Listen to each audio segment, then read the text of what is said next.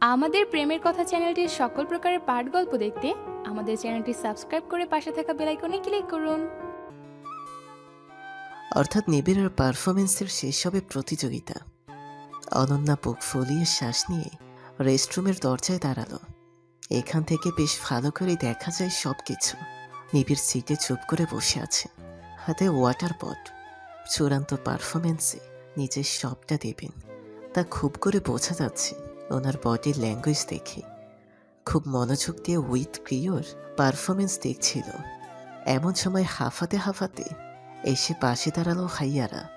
নিত্যাপ এবং রাত্রি অত্যাধিক পরিশ্রম করেছে, এমন ভাবসাব হাইয়াদের দুজনেই ঘেমে টেপে টেপে হয়ে আছে। নিত্যাপ রাত্রির অবস্থাও করুন।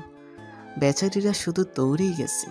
ম্যাটের পার্সোনাল স্টাফগুলো পেছনে অনন্যা ওদের চারদিকেই ঠিকমতো পরখ করে নিয়ে প্রশ্ন ছুড়ল। প্রচুর খাটুনি খেটেছ।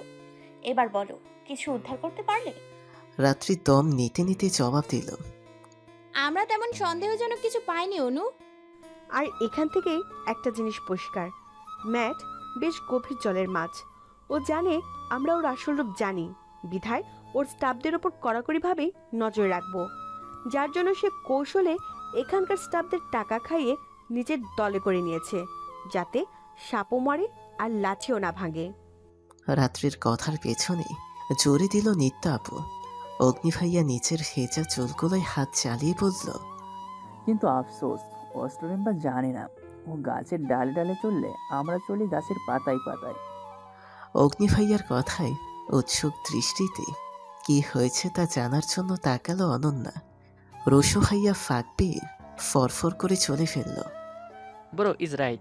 ওই পেটে গড়বড় করানোর ধান্দা করা বান্দারে একেবারে বাইন্দা বাংলা ধরাই দিয়ে ছেড়ে দিয়েছি আমরা। অনন্যার চোখ দুটোর পরিধি বৃত্তি করে খুশির বহিঃপ্রকাশ ঘটালো। প্রথমে বিশ্বাসযোগ্য মনে না হয় বিস্ময় নিয়ে জিজ্ঞেস করল সত্যি? চারজনই একসাথে মাথা উপর থেকে নিচে দুবার ছাকিয়ে বিজয়ের হাসি হাসল। অগ্নিভাইয়া গর্বের সহিত বলল আর কোনো চিন্তি নেই আর কিছু করতে পারবে না ওই ম্যাথ। নিবিড় ঠিকই নিজের বেস্ট পারফরমেন্স দিয়ে ট্রফিটা জিতে নিবে দেখিস। উত্তেজনায় চোখে মুখে প্রাপ্তির হাসি ফুটে উঠল অনন্যার ও লাফিয়ে উঠে চারজনকেই নিচের বাহুটোরে আবদ্ধ করার জন্য হাত বাড়ালো। অনেকটা ক্রিকেট খেলা শুরুর পূর্বে খেলোয়াড়রা যেভাবে একে অপরের কাঁধে হাত রেখে গোল হয়ে গোপন আলোচনা সেরে নেয় ঠিক সেভাবেই নিজেদের মধ্যে প্রাপ্তির উল্লাস ভাগাভাগি করে নিল ওরা। নিবিড় এতক্ষণ কিছুটা দূর থেকে ওদের কাণ্ড কারখানা পর্যবেক্ষণ করছিল। শত চেষ্টার পর যখন আলোচনার মূল প্রসঙ্গটা উদ্ধার করতে ব্যর্থ হলেন ঠিক তখন গিয়ে উঁচু গলায় বলে উঠলেন ও হ্যালো কি গোপন আলোচনা চলছে ওখানে? নিবিড়কে সম্পূর্ণ অবজ্ঞা করে বলল অনন্যা আপাতত আপনার না জানলেও চলবে। আপনি বরং পানি খাওয়ায় মন দিন। আবার বেশি খেয়ে ফেলবেন না পারফরমেন্সের মাঝে। প্রাকৃতিক চাপ ডাক দিলে মুশকিল। নিবিড় লজ্জায় চুপ করে গেলেন। তারপর ফুস করে হতাশার শ্বাস ছাড়লেন। শত শত কিউরিসিটি থাকা সত্ত্বেও বাড়িয়ে প্রশ্ন করতে পারলেন না আর। ম্যাকদের পারফরমেন্স শেষের দিকে। খানিক বাদেই ওনার নাম ডাকা হবে স্টেজে যার তরুণ চোপ থেকেই কাটাতে হলো সবটুকু। অবশেষে সেই কাঙ্ক্ষিত সময় ঘনিয়ে এলো। স্টেজে উচ্চস্বরে ডাকা হলো নিবিড়ের নাম। অনন্যার হৃদ স্পন্দন ক্ষণিকের জন্য বিরতি নিল। নিবিড় যখন ধীর গতিতে স্টেজে টান পাটা ফেললেন, ঠিক তখনই স্পন্দের হার বেড়ে দ্বিগুণ হলো। টিপ টিপ শব্দে আলোচনা সৃষ্টি করল হৃৎপিণ্ডটা। নিবিড় যখন স্টেজের মাঝামাঝি গিয়ে দাঁড়ালেন, তখন সকলের সমন্বিত স্বর খানিকটা নেমে এলো। পুরো স্টেজ অন্ধকার হলো, চোখের পলকে। তার পরপরই চলে উঠল নীল সবুজ বেগুনির সংমিশ্রণে একাধিক টিমটিমে আলো।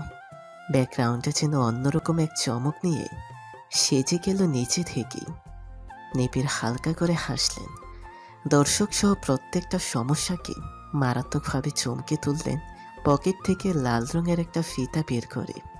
ওরা সকলেই একরাশ আগ্রহ নিয়ে তাকালো। দর্শকদের মাঝে চাপা গুঞ্জন চলল কয়েক সেকেন্ড। এর মাঝেই যখন নিবিড় ফিতাটা শক্ত করে চোখে বেঁধে নিলেন, ঠিক তখনই মিউজিক বেঁচে উঠল অনন্যার শ্বাস যেন সেখানেই থেমে গেল মুহূর্তের জন্য। বিস্ময়ে ফেটে পড়ল প্রতিটি দর্শক। নেপির নিজের মতো স্টেপ তুলেই চললেন। নিজের সর্বোচ্চটা দিয়ে কেড়ে নিলেন অন্যান্য দলের ফ্যানদের মনও। অনন্যা ভয়ার্ত চোখে অগ্নি ভাইয়ার দিকে তাকালো। ভাইয়া হয়তো বুঝলো। ওর মনে চলা তুফানটা যার তরুণ পলক ছাপতে বলল চিন্তা করিস না উইল বি ফাইন কিন্তু ভাইয়া এটা তো রিহার্সালে ছিল না। ব্লাইন্ড ডান্স করবেন? এই কথা পর্যন্ত বলেনি। এমনটা না করলে কি হতো না? অগ্নি ভাই ফুস করে শ্বাস ফেলল কাঁধে আলতো করে হাত রেখে বলল নিবিড় কখন কি করে না করে তার ধারণা আজ পর্যন্ত আমি করতে পারলাম না। তোর অবাক হওয়া স্বাভাবিক। রাখ নিবিড় যে টেজে পা রাখে, সেই টেজে ইউনিক কিছু হবে না, তা তো হয় না। এটা হয়তো একটা ইউনিক পারফরমেন্স হবে। রয়ে যাবে দর্শকের মার। অনন্যা বুকে হাজারো চিন্তার পাহাড় জমিয়ে মাথাটা হালকা করে নাড়ালো। পারফরমেন্সের এক পর্যায়ে নিবিড় ক্ষণিকের জন্য থমকালেন ওর বুকটা হক করে উঠল সেই মুহূর্তেই। পায়ে কি আবারও আঘাত পেলেন উনি?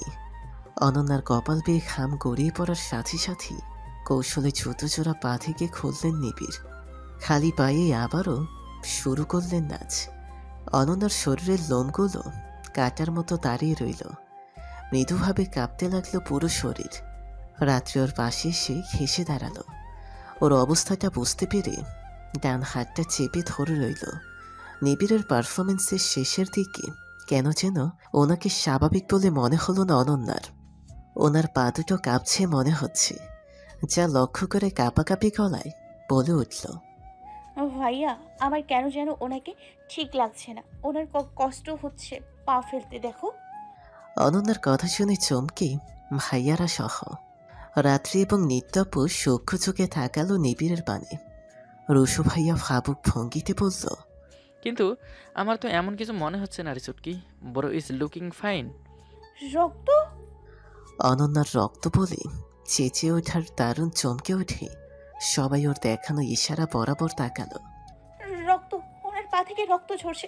ভাইয়া নিত্য আপু দেখো ওনার পা থেকে রক্ত পড়ছে। কথাগুলো বলতে বলতেই কখন যে চোখে নোনাচল চলে এলেও টেরি পেল না। নিবিড়ের পা থেকে ছড়া বিন্দু বিন্দু রক্তগুলো স্টেজে লেপটে যাচ্ছে অবলীলায়। এক একটা রক্তবিন্দু এক একটা সূক্ষ্ম সূচের আঘাত করতে লাগল অনন্যার বুকে। অনন্যা হঠাৎ করে উত্তেজিত হয়ে উঠল। শরীরের কাঁপুনি বেরিয়ে চলল ক্রমান্বয়ে। ওকে এভাবে উত্তেজিত হতে দেখে শক্ত করে চেপে ধরল রাত্রি রুশো ভাইয়া। অগ্নি ভাইয়া কি করবে ভেবে না পেয়ে স্টেজে উঠে পড়েই ছুট লাগালো ভাইয়ার উদ্দেশ্যে। ইতিমধ্যে গানও বন্ধ হলো। নিবিড় নাচ থামিয়ে ধপ করে বসে পড়লেন ফ্লোরে। চারদিকে করতালি তীব্র শব্দে ছেয়ে গেল দর্শকেরা। শীত ছেড়েই দাঁড়িয়ে পড়ল উত্তেজনায়। কারও কারও চোখ বেয়ে জল গড়িয়ে পড়ল খুশিতে। বাংলাদেশের বুকে এমন একটা মাস্টারপিস সচক্ষে দেখা কি কম কিছু? একদম না। এবার অগ্নি ভাইয়ার পিছু পিছু ছুট লাগালো ওরাও। নিবিড় চোখ থেকে মোটা ফিতাটা খুলে জোরে জোরে শ্বাস নিচ্ছিল। গায়ের শার্টটা লেগে গিয়েছে গায়ের সাথে। চুলগুলো বেয়ে টপ টপ করে ঘাম পড়ছে। ঠোঁটচোরা কাঁপছে দ্রুত শ্বাস টানায়। অনন্যা ধপ করে ওনার পাশে বসে কান্না জুড়ে দিল। না চাইতেও অবাধ্য জলগুলো গড়িয়ে পড়তে লাগল চোখ বেয়ে নিবিড় ওর পানে চিন্তিত চোখে ফিরে তাকালেন। চোখ দুটো লাল হয়ে আছে ওনার। নিত্যাপু ধরা গলায় প্রশ্ন ছুড়ল ভাইয়া এ- এসব কীভাবে হলো? পা থেকে রক্ত পড়ছে কেন তোর? নিবিড় অনন্যার গালে হাত রেখে পলক ছাপতে বোঝালেন তিনি ঠিক আছেন। তারপর নিত্যাপুর কথার প্রশ্নের জবাব স্বরূপ দূরে পড়ে থাকা জোড়া ইশারায় দেখালেন। রুশো ভাইয়া দ্রুত জোড়া ঘেটের রহস্য উদ্ঘাটন করতে লেগে পড়ল নিবিড়কে নিয়ে যখন অনন্যারা সহ স্টাফেরা ব্যস্ত তখন চেঁচিয়ে বলল রুশো ভাই ও মাই গড ব্রো বুটের ভেতরে কাছের টুকরা? রসু ভাইয়ার উক্ত বাক্যটির বিনিময়ে আতঙ্ক ছেয়ে গেল সবার মাঝে। অনন্যার চোখ দুটো চলতে শুরু করল। কান্নার জন্য নয় কাউকে খুন করে ফেলার তীব্র আকাঙ্ক্ষায়। নিবিড় তাড়াবার চেষ্টা করেও তৃতীয়বারের মতো অসফল হলেন। অগ্নি ভাইয়া স্টাফদের বেখেয়ালিপনা দেখে ধমক মেরে সরে যেতে বলল সবাইকে অবাক করে দিয়ে নিবিড় কাঁধে তুলে নিয়ে দাঁড়াল কোনো রকম। নিবিড় বাধা দিয়ে বললেন আর কি করছিস? আমায় নিতে পারবি না ছেড়ে দে আমি ঠিক আছি একা যেতে পারব। অগ্নি ভাইয়ের মুখ ঘুরিয়ে তাকালো নিবিড়ের পানে উত্তাপ ছড়ানো চোখ দুটো অনেক কিছু বলতে চাইছে তার।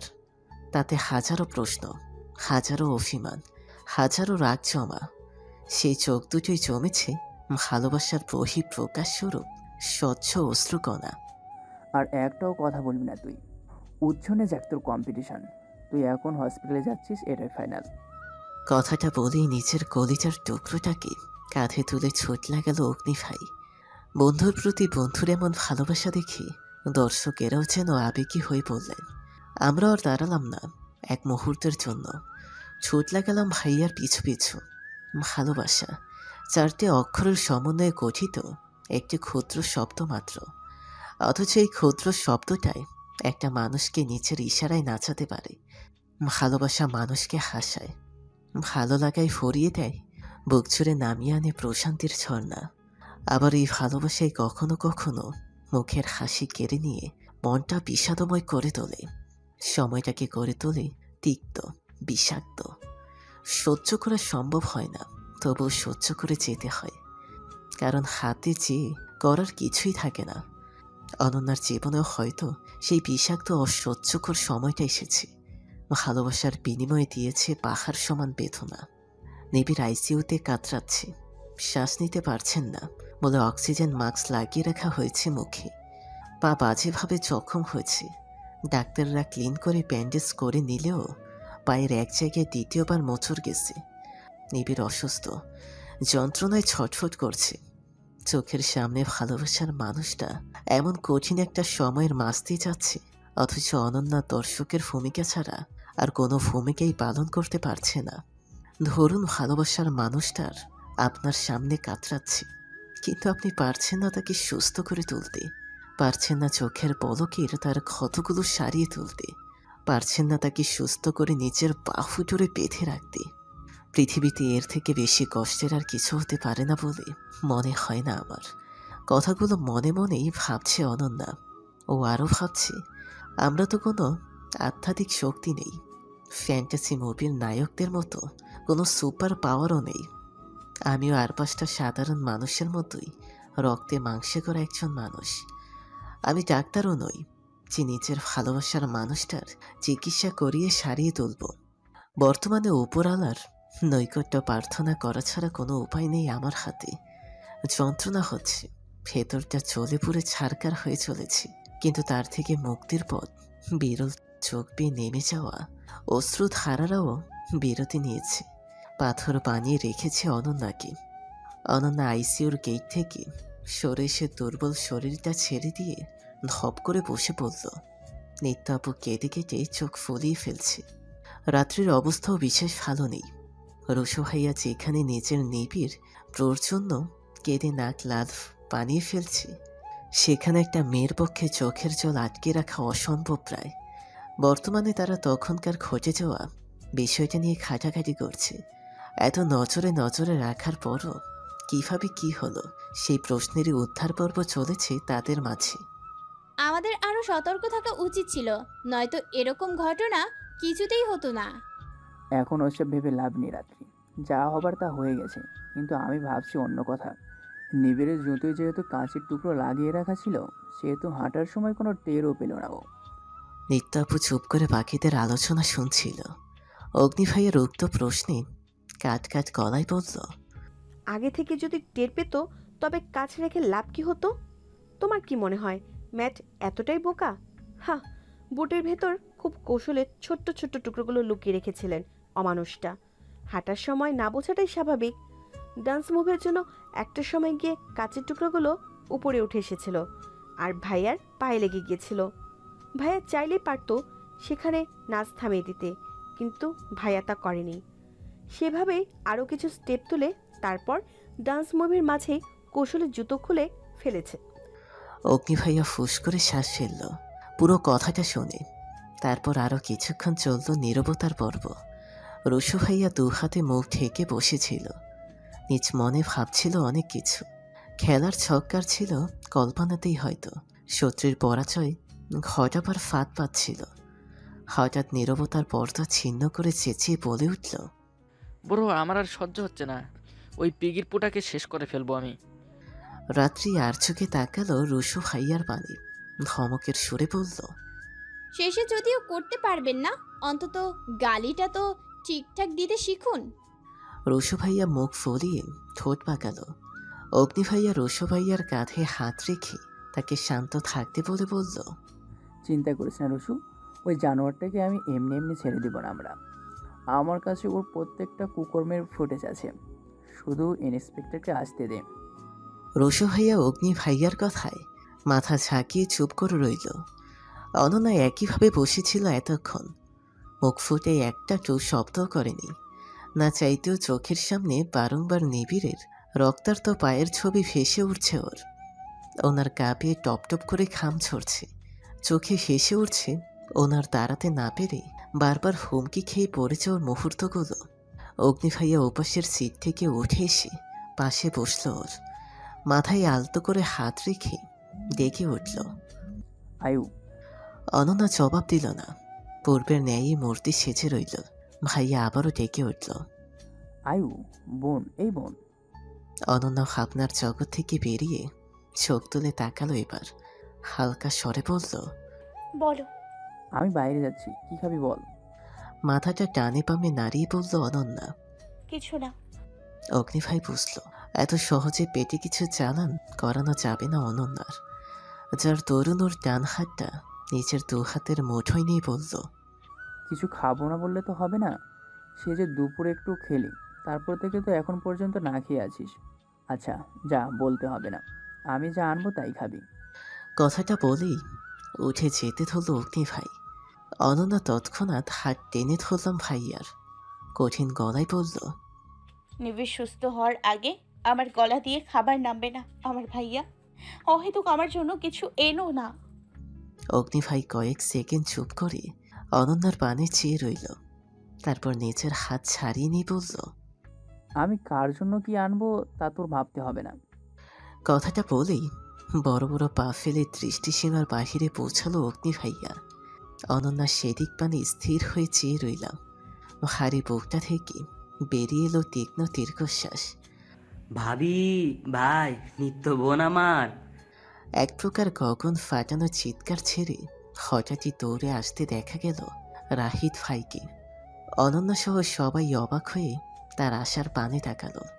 দৌড়াবার পথে হঠাৎ এক নার্সের থেকে ধমক খেল রাহিদ ভাই। এই যে আপনি এমন সারের মতো চেঁচাচ্ছেন কেন? হসপিটালে অহেতুক চেঁচামেচি অ্যালাউড নয় জানেন না? রাহিদ ভাই থতমত খেয়ে ব্রেক কষল। মাথা চলকে সেই নার্সের উদ্দেশ্যে বলল দুঃখিত ম্যাডাম আসলে আমি উত্তেজনা চেঁচিয়ে ফেলেছি। কিন্তু আমি একটা জিনিস বুঝলাম না আমি তো মানুষ। মানুষ আবার সারের মতো চেঁচাই কীভাবে? একটু বুঝিয়ে দেবেন? রাহিদ ভাই আবারও এক ধমক খেল নার্সের থেকে। পাগল ছাগল উপাধি পেয়ে অবশেষে ওদের কাছাকাছি এসে দাঁড়াল। নিত্যাপু বসা থেকে উঠে জিজ্ঞেস করল কি হয়েছে রাহিদ ভাই? দেখছেন আমার একটা বাজে পরিস্থিতি চলছে তবু আপনার এক্সাইটমেন্ট যাচ্ছে না? রাহিদ ভাই জিব্বে খচাত করে কামড় বসিয়ে দিল।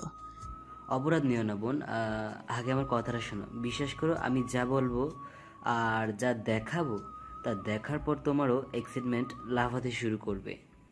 রাহিদ ভাইয়ার কথার মাঝেই রসু ভাই ঠোঁট উল্টে হাতের ইশারায় তার পেছন দেখে প্রশ্ন ছুড়ল তোমার হাতে ওটা কি রোহিত ব্রো?